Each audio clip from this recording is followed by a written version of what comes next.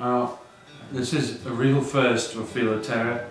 Jenny, uh, she's a bit camera shy, made uh, in the oven yesterday our first homemade loaf of bread.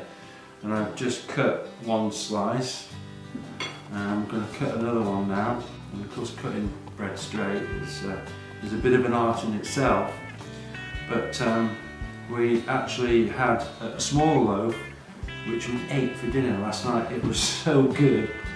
And um, this is a, a another uh, um, another bigger. So she made two loaves yesterday.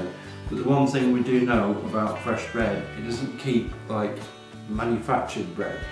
So we're going to try and eat most of this in, in the course uh, of the day.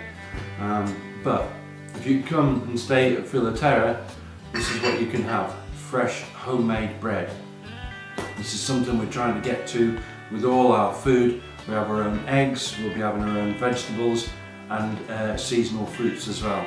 So you can look forward to that when you come stay at Filoterra. So thank you for watching. Don't forget to uh, check us out on our Facebook page, Filoterra Cyprus. And uh, look forward to seeing you. Summer 2018 is coming.